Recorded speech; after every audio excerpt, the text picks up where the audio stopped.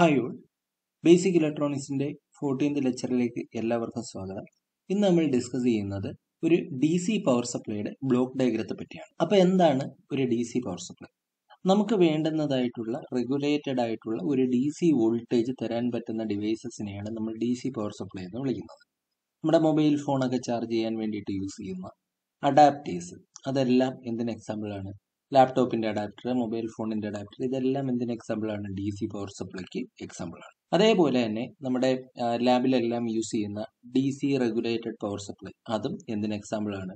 ഒരു D C power സപ്ലൈക്ക് example ആണ്. അന്നേരം ഈ ഒരു ലാബിൽ ഇത് നിങ്ങൾ കണ്ടിട്ടുണ്ടാവും.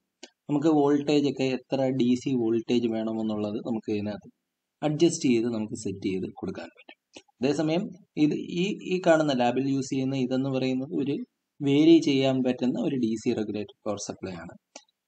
ഇതെല്ലാം എന്താണ്? നമ്മുടെ അഡാപ്റ്റേഴ്സ് എല്ലാം ഒരു ഫിക്സഡ് ഡി സി വോൾട്ടേജ് തരുന്ന വേരി ചെയ്യാൻ പറ്റാത്ത ഫിക്സഡ് ആയിട്ടുള്ള ഒരു ഡി സി പവർ സപ്ലൈക്ക് എക്സാമ്പിൾ ആണ്.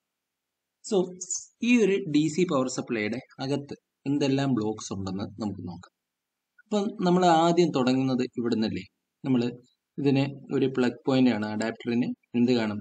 അഡാപ്റ്ററിൽ നമ്മൾ എ സി ആയിരിക്കും നമ്മൾ ഇൻപുട്ടായിട്ട് കൊടുക്കുന്നത്. നമ്മൾ പ്ലഗിലല്ലേ കുത്തുന്നത് അന്നേരം നമ്മൾ എ സി ആണ് നമ്മൾ ഇതിനെ ഇൻപുട്ടായിട്ട് കൊടുക്കുന്നത്. അന്നേരം ഈ എ സിയെ നമുക്ക് എന്താക്കി കൺവെർട്ട് ചെയ്യണം? ഒരു കോൺസ്റ്റന്റ് ഡി സി ആക്കി കൺവെർട്ട് ചെയ്ത് നമുക്ക് ഇവിടെ ഔട്ട്പുട്ടിൽ കിട്ടണം. അതിന് വേണ്ടിയിട്ടാണ് നമ്മൾ എന്ത് യൂസ് ചെയ്യുന്നത് D C power supply use ചെയ്യുന്നത് അന്നേരം നമുക്ക് എ സിയിൽ കിട്ടുന്ന അത് എ സി ലൈനിൽ എ സി ലൈനിൽ വരുന്ന എ സി വോൾട്ടേജ് അല്ലെങ്കിൽ എ സി കറണ്ട് എന്ന് പറയുന്നത് എന്താണ്? ഹൈ ആംപ്ലിറ്റ്യൂഡ് ഉള്ള ഒരു സിഗ്നലാണ് അന്നേരം നമ്മൾ ട്രാൻസ്ഫോമർ യൂസ് ചെയ്യും. ട്രാൻസ്ഫോമർ യൂസ് ചെയ്യുന്നതെന്ന് വെച്ചാൽ ഈ ഹൈ ആംപ്ലിറ്റ്യൂഡിലുള്ള എ സി സിഗ്നലിനെ നിങ്ങൾക്കറിയാം ടു തേർട്ടി വോൾട്ട് ആണ് വരുന്നത് അല്ലേ? ടു തേർട്ടി വോൾട്ട് ആണ് നമ്മുടെ ലൈനിൽ വരുന്നത്. ഈ ടു തേർട്ടി വോൾട്ട് വരുന്ന സിഗ്നലിനെ നമുക്ക് ആംപ്ലിറ്റ്യൂഡ് കുറച്ച് നമുക്കിപ്പോൾ ഒരു സിക്സ് വോൾട്ടിന്റെ വോൾട്ടേജ് റെഗുലേറ്റർ ആണ് നമ്മൾ യൂസ് ചെയ്യുന്നതെങ്കിൽ നമുക്ക് സിക്സ് വോൾട്ട് മതി. നമുക്ക് ഈ എ സി നമുക്ക് നമുക്ക് അവൈലബിൾ ആയിട്ടുള്ള എ സി ലൈനിൽ കിട്ടുന്ന എ സി എന്ന് പറയുന്നത് ടു തേർട്ടി വോൾട്ട് ആണ്. അന്നേരം ഈ ടു തേർട്ടി വോൾട്ടിനെ നമുക്ക് സിക്സ് വോൾട്ട് ആയിട്ട് കൺവെർട്ട് ചെയ്യേണ്ടതായിട്ടുണ്ട്. അതിന് വേണ്ടിയിട്ടാണ് ഫസ്റ്റ് ബ്ലോക്ക് ഫസ്റ്റ് ബ്ലോക്ക് എന്ന് പറയുന്നത് ഒരു ട്രാൻസ്ഫോമർ ആണ്. ഈ ട്രാൻസ്ഫോമർ ടു തേർട്ടി വോൾട്ടിനെ അന്നേരം സിക്സ് വോൾട്ട് ആയിട്ട് നമുക്ക് കൺവെർട്ട് ചെയ്ത് ട്രാൻസ്ഫോമർ ഔട്ട്പുട്ടിൽ കിട്ടും. ഈ ഔട്ട്പുട്ട് ട്രാൻസ്ഫോമർ ഔട്ട്പുട്ട് എന്ന് പറയുന്നത് സിക്സ് വോൾട്ട് ആയിട്ടുള്ള എ സി സിഗ്നലാണ് കിട്ടുന്നത്. അല്ലേ? എ സി സിഗ്നലാണ് കിട്ടുന്നത്. അന്നേരം എ സി സിഗ്നൽ എന്ന് പറയുന്നത് ബൈ ഡയറക്ഷണൽ സിഗ്നലാണ് ഡി സി സിഗ്നൽ എന്ന് പറയുന്നത് യൂണി ഡയറക്ഷണൽ സിഗ്നൽ ആണ് അപ്പൊ നമ്മൾ പഠിച്ചിട്ടുണ്ട്.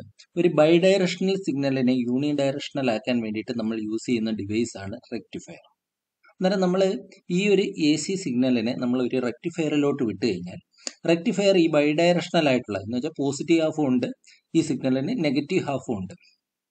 അതാണ് ബൈ ഡയറക്ഷണൽ സിഗ്നൽ ഈ ബൈ ഡയറക്ഷണൽ ആയിട്ടുള്ള ഈ ഒരു സിഗ്നലിനെ റെക്ടിഫയർ എന്ത് ചെയ്യും? റെക്ടിഫയർ അതിനെ യൂണി ഡയറക്ഷനിലാക്കും അന്നേരം റെക്ടിഫയറിന്റെ ഔട്ട്പുട്ടിൽ കിട്ടുന്നത്. ഈ ഒരു സിഗ്നൽ റെക്ടിഫയറിന് ഇൻപുട്ട് ആയിട്ട് കൊടുത്തു കഴിഞ്ഞാൽ നമുക്ക് ഇങ്ങനെയുള്ള യൂണി ഡയറക്ഷണൽ സിഗ്നൽ ആയിരിക്കും നമുക്ക് റെക്ടിഫയറിന്റെ ഔട്ട്പുട്ടിൽ കിട്ടുന്നത്. ഈ സിഗ്നൽ പിന്നെ ഈ സിഗ്നൽ നോക്കിക്കഴിഞ്ഞാൽ നമുക്ക് കിട്ടേണ്ടത് എന്താണ്? സ്റ്റഡി ആയിട്ടുള്ള ഒരു ഡി സി വോൾട്ടേജ് ആണ്. അത് ഈ രീതിയിലിരിക്കുന്ന ഒരു ഡി സി വോൾട്ടേജ് ആണ്. അന്നേരം ഈ ഒരു സിഗ്നൽ നമ്മൾ നോക്കിക്കഴിഞ്ഞാൽ ഇതിനകത്ത് ഇതാ ഈ കാണുന്ന ഈ വോൾട്ടേജ് ഇങ്ങനെ ചേഞ്ച് ചെയ്തുകൊണ്ടേയിരിക്കും. എന്ന് വെച്ചാൽ പൾസേറ്റിംഗ് ഡി സി ആണ് നമുക്ക് കിട്ടുന്നത്. അല്ലേ? അന്നേരം ഇതിനെ നമുക്ക് സ്റ്റഡി ആക്കേണ്ടതായിട്ടുണ്ട്. അന്നേരം ഇതിനകത്തുള്ള A C component A C component എന്ന് വെച്ചാൽ വോൾട്ടേജിനുണ്ടാകുന്ന ഈ ഒരു ചേഞ്ചിനെ നമുക്ക് കുറയ്ക്കാൻ വേണ്ടിയിട്ട് നമ്മൾ എന്തിലോട്ട് വിടും? ഒരു ഫിൽറ്ററിലോട്ട് വിടും. ഫിൽട്ടർ ഇതിനകത്തുള്ള റിപ്പിൾസിനെ റിമൂവ് ചെയ്യും. റിപ്പിൾസ് എന്ന് വെച്ചാൽ ഇതിനകത്തുള്ള എ സി കമ്പോണന്റ് ആണ്. ആ എ സി കമ്പോണന്റിനെ റിമൂവ് ചെയ്യും. അന്നേരം ഫിൽട്ടർ ചെയ്ത് കിട്ടുന്ന സിഗ്നൽ ഈ രീതിയിലായിരിക്കും ഇരിക്കുന്നത്. എന്ന് വെച്ചാൽ എ സി കുറേ ഇതാ കുറേ എ സി ഇതിനകത്തുള്ള കുറേ എ സി റിമൂവ് ചെയ്തിട്ട് ഈ ഒരു രീതിയിലായിരിക്കും നമുക്ക് ഫിൽട്ടർ ചെയ്ത് കിട്ടുന്ന സിഗ്നൽ ഇരിക്കുന്നത്. ഇനി നമുക്ക് ഈ ഫിൽട്ടർ ചെയ്ത് കിട്ടുന്ന സിഗ്നലിനകത്തും ചെറുതായിട്ട് എന്തുണ്ട്? വേരിയേഷൻ ഉണ്ട് അല്ലേ? വോൾട്ടേജിന് വേരിയേഷൻ ഉണ്ട്. അന്നേരം ആ വോൾട്ടേജിനുണ്ടാകുന്ന ആ ചെറിയ വേരിയേഷൻ ഇല്ലാണ്ടാക്കാൻ വേണ്ടിയിട്ട് നമ്മൾ യൂസ് ചെയ്യുന്ന ഫൈനൽ ബ്ലോക്ക് ആണ് റെഗുലേറ്റർ റെഗുലേറ്റർ ഈ ചെറിയ വേരിയേഷനെ എന്താ? ഇല്ലാണ്ടാക്കാക്കും നമുക്ക് എന്ത് തരും? ഒരു കോൺസ്റ്റന്റ് ആയിട്ടുള്ള ഡി സി തരും. ആ ഡി സി ആയിരിക്കും നമ്മൾ എന്തിലോട്ട് കണക്ട് ചെയ്യുന്നത്? ലോഡിലോട്ട് കണക്ട് ഓക്കെ ലോഡ് എന്ന് പറയുന്നത് നമ്മുടെ അഡാപ്റ്ററാണ് യൂസ് ചെയ്യുന്നതെങ്കിൽ നമ്മുടെ മൊബൈൽ മൊബൈൽ ഫോൺ ലാപ്ടോപ്പിന്റെ അഡാപ്റ്റർ ആണെങ്കിൽ ലാപ്ടോപ്പ് അതാണ് നമ്മൾ ഇവിടെ ലോഡായിട്ട് നമ്മൾ യൂസ് ചെയ്തിരിക്കുന്നത്. So this is the block diagram of a regulated power supply okay അന്നേരം നമുക്ക് ഇനി ഇതിന്റെ നോട്ട്സിലോട്ട് പോകാം അന്നേരം basic blocks of a regulated power supply are a step down transformer a rectifier ഏതൊക്കെയാ ഒരു step down transformer step down ആണ് ട്രാൻസ്ഫോമർ യൂസ് ചെയ്യുന്നത്. കാരണം എന്താ? ടു തേർട്ടി വോൾട്ടിന് ഒരു ലോ വാല്യൂ സിക്സ് വോൾട്ടിന്റെ വോൾട്ടേജ് റെഗുലേറ്റർ ആണെങ്കിൽ സിക്സ് വോൾട്ടിലോട്ട് കൺവെർട്ട് ചെയ്യാൻ വേണ്ടിയിട്ടാണ് യൂസ് ചെയ്യുന്നത്. അതുകൊണ്ട് സ്റ്റെപ്പ് ഡൗൺ ട്രാൻസ്ഫോമർ ആണ് നമ്മൾ ഫസ്റ്റ് ബ്ലോക്ക് പിന്നെ ഒരു റെക്ടിഫയർ പിന്നെ ഒരു ഡി സി ഫിൽറ്റർ ഒരു regulator step down transformer step down transformer will step down the voltage from A C mains to required voltage level A C മെയിൻസിൽ കിട്ടുന്ന വോൾട്ടേജിനെ നമുക്ക് ആവശ്യമുള്ള വോൾട്ടേജ് ലെവലിലോട്ട് സ്റ്റെപ്പ് ഡൗൺ ചെയ്യാൻ വേണ്ടിയിട്ടാണ് നമ്മൾ എന്ത് യൂസ് ചെയ്യുന്നത്? സ്റ്റെപ്പ് ഡൗൺ ട്രാൻസ്ഫോമർ യൂസ് ചെയ്യുന്നത്. എന്നാലും നിങ്ങൾ ഇലക്ട്രിക്കലി പഠിച്ചു. എന്താണ്? സ്റ്റെപ്പ് ഡൗൺ ചെയ്യുന്നത് എങ്ങനെയാണ്? നമ്മളൊരു ട്രാൻസ്ഫോമറിന്റെ ടേൺസ് റേഷ്യോ മറ്റുമല്ല അഡ്ജസ്റ്റ് ചെയ്തിട്ടാണ് നമ്മൾ അതിനെ ഒരു റിക്വയർഡ് വോൾട്ടേജ് വാല്യൂയിലോട്ട് കൊണ്ടുവരുന്നത്. അന്നേരം ഈ ഔട്ട് ഈ ട്രാൻസ്ഫോമറിന്റെ ഔട്ട്പുട്ട് പിന്നെ നമ്മൾ എന്തിലോട്ട് കൊടുക്കും? റെക്ടിഫയർ സർക്യൂട്ടിലോട്ട് കൊടുക്കും. അല്ലേ? ഈ ട്രാൻസ്ഫോമറിന്റെ ഔട്ട്പുട്ട് പിന്നീട് നമ്മൾ എങ്ങോട്ട് കൊടുക്കും? റെക്ടിഫയർ സർക്യൂട്ടിലോട്ട് കൊടുക്കും.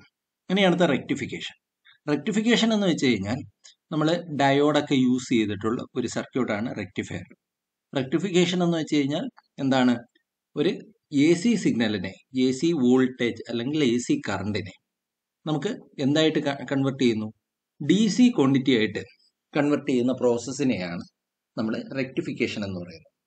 അല്ലെങ്കിൽ റെക്ടിഫയർ എന്ന് പറയുന്നത് എന്താ? ഒരു ബൈഡയറക്ഷണൽ സിഗ്നലിനെ യൂണി ഡയറക്ഷണൽ ആക്കാൻ വേണ്ടിയിട്ട് യൂസ് ചെയ്യുന്ന പ്രോസസ്സാണ് റെക്ടിഫിക്കേഷൻ. അന്നേരം ഇൻപുട്ട് എ സി നമ്മൾ റെക്ടിഫയറിന് കൊടുക്കുന്ന ഇൻപുട്ട് എന്ന് പറയുന്നത് എ സി ആയിരിക്കും. റെക്ടിഫയർ തരുന്ന ഔട്ട്പുട്ട് എന്ന് പറയുന്നത് ഒരു യൂണി ഡയറക്ഷണൽ പൾസേറ്റിംഗ് ആയിട്ടുള്ള ഡി സി സിഗ്നൽ ആയിരിക്കും. നമ്മൾ സാധാരണയായിട്ട് യൂസ് ചെയ്യുന്നത് ഫുൾ വേവ് റെക്ടിഫയറോ അല്ലെങ്കിൽ ഫുൾ വേവ് റെക്ടിഫയർ ആയിട്ടുള്ള സെന്റർ ടാപ്പോ അല്ലെങ്കിൽ ബ്രിഡ്ജ് റെക്ടിഫയറോ ഒക്കെ ആയിരിക്കും നമ്മൾ യൂസ് ചെയ്യുന്നത്. റെക്ടിഫിക്കേഷൻ നമുക്ക് ഡീറ്റെയിൽഡ് ആയിട്ട് ഇനി പഠിക്കാനുണ്ട്. ഇനി അടുത്താണ് ഡി സി ഫിൽട്രേഷൻ അന്നേരം ഞാൻ പറഞ്ഞു റെക്ടിഫൈ ചെയ്ത് കിട്ടുന്ന സിഗ്നൽ എന്ന് പറയുന്നതിനകത്ത് എന്ത് കാണും? ഇതേപോലെ പൾസേറ്റിംഗ് എന്താണ്? ഡി സി ആണ് നമുക്ക് കിട്ടുന്നത്. അന്നേരം ഇതിനകത്തുള്ള ഈ പൾസസ് അല്ലെങ്കിൽ ഇതിനകത്തുള്ള എ സി കമ്പോണന്റ് അല്ലെങ്കിൽ ഇതിനകത്തുള്ള റിപ്പിൾസ് അത് റിമൂവ് ചെയ്യാൻ വേണ്ടിയിട്ടാണ് എന്ത് യൂസ് ചെയ്യുന്നത്? ഫിൽട്ടർ യൂസ് ചെയ്യുന്നത്. അന്നേരം filter the rectified voltage from the rectifier is a pulsating D C voltage having very high ripple content അതിനകത്ത് റിപ്പിൾ കണ്ടന്റ് കൂടുതലായിരിക്കും.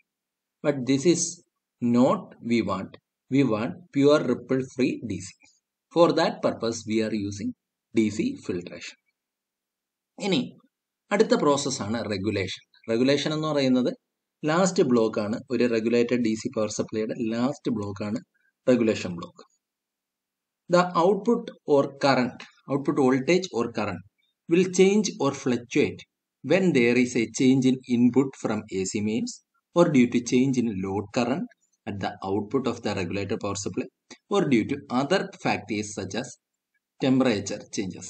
നമ്മുടെ ഒരു വോൾട്ടേജ് ഔട്ട്പുട്ട് വോൾട്ടേജ് എന്ന് പറയുന്നത് പല രീതിയിൽ ചേഞ്ച് ചെയ്യാം ചിലപ്പോൾ നമ്മളെ ഇൻപുട്ട് എ സി മെയിൻസിൽ ഉണ്ടാകുന്ന വേരിയേഷൻ മൂലം ചേഞ്ച് ചെയ്യാം അല്ലെങ്കിൽ എന്താണ് ഔട്ട്പുട്ട് പവർ സപ്ലൈയുടെ ഔട്ട്പുട്ടിൽ ഉണ്ടാകുന്ന ലോഡ് കറണ്ട് മൂലം എന്താണ്? ലോഡ് കറണ്ടിനുണ്ടാകുന്ന വേരിയേഷൻ മൂലം ചേഞ്ച് ചെയ്യുക. അല്ലെങ്കിൽ വേറെ ടെമ്പറേച്ചറിനുണ്ടാകുന്ന ചേഞ്ചസ് ഒക്കെ മൂലം ഔട്ട്പുട്ട് വോൾട്ടേജിന് ചേഞ്ച് സംഭവിക്കാം. ഈ പ്രോബ്ലം എലിമിനേറ്റ് ചെയ്യാൻ വേണ്ടിയിട്ടാണ് നമ്മൾ എന്ത് യൂസ് ചെയ്യുന്നത്? റെഗുലേറ്റേഴ്സ് യൂസ് ചെയ്യുന്നത്. റെഗുലേറ്റേഴ്സിന്റെ പ്രത്യേകത എന്താന്ന് വെച്ചാൽ ഈ എന്ത് ചേഞ്ച് സംഭവിച്ചാലും ഇൻപുട്ടിന് ചെറിയ ചേഞ്ചസ് എന്ത് സംഭവിച്ചാലും ഔട്ട്പുട്ടിനെ അഫക്റ്റ് ചെയ്യാൻ പാടില്ല. ഔട്ട്പുട്ട് എന്ന് പറയുന്നത് എല്ലാ സമയവും നമുക്ക് എന്താ? ഒരു കോൺസ്റ്റന്റ് വാല്യൂ തരണം. അതിന് വേണ്ടിയിട്ടാണ് നമ്മൾ എന്ത് യൂസ് ചെയ്യുന്നത്? റെഗുലേറ്റേഴ്സ് യൂസ് ചെയ്യുന്നത്. സാധാരണ സെനർ വോൾട്ടേജ് സെനർ ഡയോഡ് നമ്മൾ വോൾട്ടേജ് റെഗുലേറ്റർ ആയിട്ട് യൂസ് ചെയ്യും.